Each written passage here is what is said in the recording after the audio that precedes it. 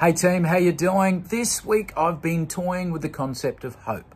Um, just what that means to me and um, sort of um, going through it in my head and, and I penned this poem called Hope. So I hope you enjoy it and I hope you get something out of it. I hope I'll win the lotto, I heard somebody say. I hope I get to work on time. Hope they let me play. There are those of us that think of hope like wishing on a star but it's not a genie in a bottle or asking Santa for a car. It's not only a yearning for the things we do not own. It isn't filling stockings or desiring the latest phone. What if hope was something more than someone's want or need? A branch to grab in quicksand or sun and water to a seed. It's a word that has a meaning that is different for everyone. These four basic little letters hold more power than the sun. It's a word that gets me up each day and soothes me when I sleep.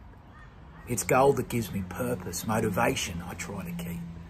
So I thought I'd break it down a bit, this word that brings a ray, and explore the actual meaning, what the dictionary had to say.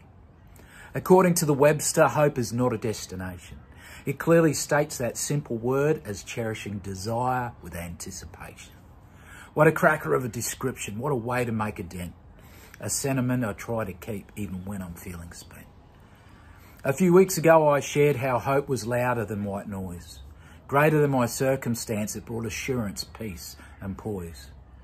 The encouragement I received that week was overwhelming and sincere and had the impact of increasing hope with that demonstrated care. Someone said, hold on, pain ends, which is an acronym for hope. A reminder that my challenges would not always be in scope that despite the darkest tunnel, there usually is light ahead.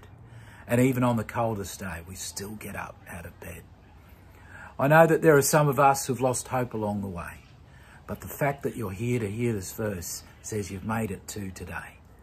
If you're feeling less than hopeful, if you're struggling with this rhyme, my gift to you this day, my friend, is to share with you this hope of mine. Cheers, guys. Have a great week.